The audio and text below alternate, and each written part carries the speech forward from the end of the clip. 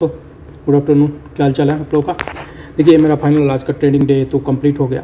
और जैसा मॉर्निंग में मैंने आप लोगों को दिखाया था कि मैं दो ट्रेड के में बेनिफिट में बैठा हुआ था 4500 की कॉल में और 4700 की कॉल में। उसके बाद फिर मैंने दो कॉल ऑल लिए हैं, इकतालीस और इकतालीस और जो प्रॉफिट चारों के चारों में मेरा प्रॉफिट हुआ और जो प्रॉफिट आया, फिर उसी प्रॉफिट से मैंने एक quantity C D S L का जो मेरा होल्डिंग है, उसमें मैंने ऐड कर लिया। ये प्रॉफिट के पैसे से है, ठीक है? ये देखिए प्रॉफिट के पैसे से ही है, क्योंकि मेरा टारगेट ही रहता है कि जो भी प्रॉफिट आया, दस हज़ार से ऊपर आया तो उसका दस से पंद्रह परसेंट जो है, मैं कोई ना कोई स्टॉक में इन्वेस्ट कर दूँगा, ठीक है? तभी सी डी सी एल जैसे एक क्वांटिटी मैंने ले लिया। इससे मुझे कोई फ़र्क नहीं पड़ता है, ठीक है? ये क्योंकि ये प्योर प्रॉफिट का पैसा है।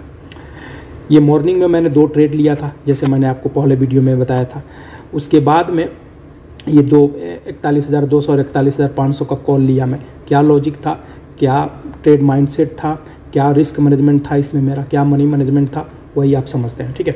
अब देखिए मॉर्निंग में मैं क्या है कि मेरा पहले ही प्रॉफिट आ गया था छः हज़ार नौ सौ और चार सौ तिरासी। इसमें थोड़ा सा मैं जल्दी निकल गया था क्योंकि मुझे कुछ काम था और फिर मैं निकल गया कि भाई जो आया हुआ प्रॉफिट है उसको सिक्योर करके जाना है। फ़र्स्ट प्रायोरिटी ये है। सेकेंड प्रायोरिटी ये था कि भाई लॉस में नहीं जाना ठीक है? ठीक है, चार सौ तिरासी दे के ही तो गया ना, कुछ लेके तो नहीं गया मेरे से। चार सौ तिरासी ही दिया, चार सौ ठीक है, कोई बात नहीं दे कर गया ना, कुछ लेकर तो नहीं गया। उसके बाद मैं अपने काम में बिज़ी हो गया, फिर मुझे ट्रेंड जहाँ एक जगह कंसोलिडेशन नज़र आया, फिर मुझे अब ये सात हज़ार का जो प्रॉफिट था मॉर्निंग का, उसी के अंदर का ही मुझे ट्रेड करना था, ठीक है?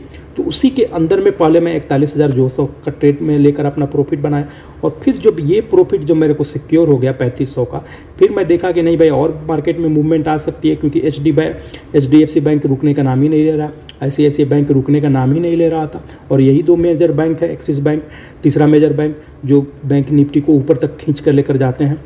तो फिर मैंने एक लॉट का, मैंने और रिस्क लिया और मैंने ग्यारह प्रॉफिट बुक कर लिया। हालाँकि बाद में ये जिस पॉइंट पर मैंने आउट हुआ, उससे काफ़ी ऊपर गया, लेकिन चलो, वो मोह माया वाली चीज़ है। मोह माया में नहीं पढ़ना है। जो आ गया प्रॉफिट वो आ गया प्रॉफिट मेरा ठीक है? फाइनल क्या हुआ? एंड ऑफ़ द डे कि ये मैं प्रॉफिट पे था। फिर मैंने कि मेरा टारगेट है कि भाई एक जो ऑलरेडी मेरा होल्डिंग है, उसी में से कोई एक शेयर मेरे को बाई कर लेने का। तो मैंने सी डी सी एल में, मैं बहुत ज़्यादा ही बुलिस हूँ। C D C L B S C अभी एन एस डी एल का आने वाला है, जो आई पी ओ समय मैं रखूँगा अगले बीस साल के लिए। क्योंकि नेक्स्ट वीडियो में मैं बताऊँगा क्या रीज़न है इसको रखने के लिए होल्ड करने के लिए, या बीस साल तक मैं होल्ड करने के लिए क्यों बोल रहा हूँ। उसको मैं किसी और वीडियो में मैं आपको समझाऊँगा, इसका बिज़नेस मॉड्यूल क्या है। अभी फ़िलहाल ये करते हैं कि इसका लॉजिक समझते हैं, ठीक है? ये ये सेविंग का इसका लॉजिक समझते हैं कि क्या था, क्यों मैंने ये ये वाला ट्रेड क्यों लिया और उसके बाद मैंने ये ट्रेड क्यों लिया, ठीक है? आगे बढ़ने से पहले मैं ये भी दिखा देता हूँ, देखिए, आज का प्रॉफिट छोड़कर मेरे अकाउंट में एक लाख बीस हज़ार रुपया पहले से रहता है, ठीक है? ये सी डी सी एल खरीदा हूँ, उसके लिए मार्जिन ये लगा हुआ है। अदरवाइज़ एक लाख बाईस हज़ार रुपया था, लेकिन क्या मैं पूरे का रिस्क ले लूँ? नहीं, वो ट्रेडिंग का माइंड सेट नहीं होता है। नाइन ट्वेंटी का का से के लॉजिक से मैं ऑलरेडी यहाँ पर, यहाँ जब कंसोलिडेशन है ना, यहाँ पर मैं निकल गया था। मैं ये पकड़ा और मेरा सात हज़ार का प्रॉफिट आया। फिर जो दूसरा ट्रेड लिया जिसमें तीन सौ आया, यहाँ पर प्रॉफिट आया और फिर मैं निकल गया, ठीक है? निकल गया, मैं अपने काम में बिज़ी हो गया। ये रैली मैं नहीं पकड़ पाया, ये कंसोलिडेशन के बाद। ये मैं नहीं पकड़ा। जब यहाँ पर कंसोलिडेट हो रहा था तो भी मैंने इसको नहीं पकड़ा, क्योंकि मैं अपने काम में था। मैंने उसके बाद से पकड़ा ये वाला पॉइंट जब ये वाला के पास, ठीक है, इकतालीस हज़ार एक सौ पचास के ऊपर निकलने की जब ये कोशिश कर रहा था तो मैंने इसको पकड़ा, इकतालीस हज़ार दो सौ वाला, और यहाँ पर इस कैंडल पर मैं प्रॉफिट बुक कर लिया। यहाँ पर देखिए, फिर पाँच मिनट और पाँच मिनट, दस मिनट का कंसोलिडेशन है, ठीक है। जब ये कैंडल को जब इसने ब्रेक किया तो फिर मैं ग्यारह, इकतालीस हज़ार पाँच सौ का मैंने लिया और उसको मैं यहाँ पर जाकर निकाल दिया। क्योंकि जो मेरा टारगेट था, मेरा टारगेट अचीव हो रहा था, मैंने निकाल दिया। फिर इसकी कंसोलिडेट करने लगा। इधर पी का एक पोजीशन बनाने के लिए मैं सोच रहा था, फिर मैंने नहीं बनाया। कोई बात नहीं, मेरा, क्योंकि कोई ज़रूरी नहीं, दिन भर में मार्केट आपको पाँच सात मूव देगा। नहीं पकड़ोगे, कोई ज़रूरी थोड़ी है कि अब यहाँ से अगर मैं पी पकड़ रहा था तो भी कुछ मिला रहा था मुझे।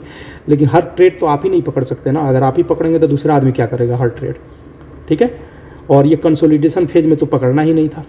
मेरे को ट्रेड किसी भी हाल में कंसोलिडेशन फ़ेज़ के तो मेरे को ट्रेड पकड़ना ही नहीं था। तो इसके लिए मुझे तीन अपॉर्चुनिटी मिला ट्रेड पकड़ने के लिए और मैंने तीनों अपॉर्चुनिटी को मैंने भुनाया, ऐसा करके, ठीक है? मैंने तीनों अपॉर्चुनिटी को भुलाया। यहाँ से मैं एक पी पकड़ना चाहता था, लेकिन नहीं पकड़ा। और फिर बाद में जब मार्केट में देखा तो फिर एक और अपॉर्चुनिटी मिस हो गई, जो कि यहाँ से देखें, अगर पी का देखें, जब यहाँ से अगर डाउनफॉल हुआ तो ये भी सौ पॉइंट का हुआ। अगर पकड़ता नहीं भी तो आज मिलता पचास, साठ मिल जाता, लेकिन वो मोह माया है। मिलता नहीं मिलता, बात की चीज़ है। एट प्रजेंट यही है कि जितना मेरे को मिला, क्या होता कि मैं अब अगेन मैं यहाँ पर देख रहा था कि एक जा रहा है। क्या होता कि मैं हंड्रेड क्वांटिटी से पकड़ता। अगर मेरा अगर रॉन्ग होता डिसीज़न अगर थर्टी पॉइंट का भी मैं लॉस रखता तो आए हुए प्रॉफिट मेरा था दस नौ हज़ार प्रॉफिट नौ हज़ार में से तीन हज़ार प्रॉफिट मेरा निकल गया रहा था बचा रहा था छः हज़ार। तो इसलिए मैं सिर्फ़ एक क्वांटिटी का जो दो बजकर जो मेरा एक क्वांटिटी का मेरा प्रैक्टिस है, ठीक है? और दो बज के बीस मिनट वाला जो एक स्ट्रेटजी है, आज मैं उसको इम्प्लीमेंट नहीं कर पाया, क्योंकि मैं अपने काम में इन्वॉल्व था। और फाइनली मार्केट जाकर प्रॉफिट मेरा इतना आया और फाइनली मार्केट जाकर क्लोज आउट दिया है इकतालीस हज़ार तीन सौ पचास के आसपास में। अब कल देखेंगे, कल थर्सडे है वीकेंड है वीकली एक्सपायरी है। कल का कल देखेंगे। आज का प्रॉफिट इतना फाइनली मैं लेके जा रहा हूँ, ठीक है? आज का प्रॉफिट फाइनली मैं इतना लेके जा रहा हूँ। कल का कल देखेंगे कि अब कल फिर न्यू से स्टार्ट करेंगे, कल फिर ज़ीरो से स्टार्ट करेंगे, ठीक है? मेन प्रायोरिटी ये है कि जो फ़र्स्ट प्रॉफिट आ जाए उसको सिक्योर बचा के लेके जाना है। उस प्रॉफिट के से ही का ही रिस्क लेना है। प्रॉफिट जैसे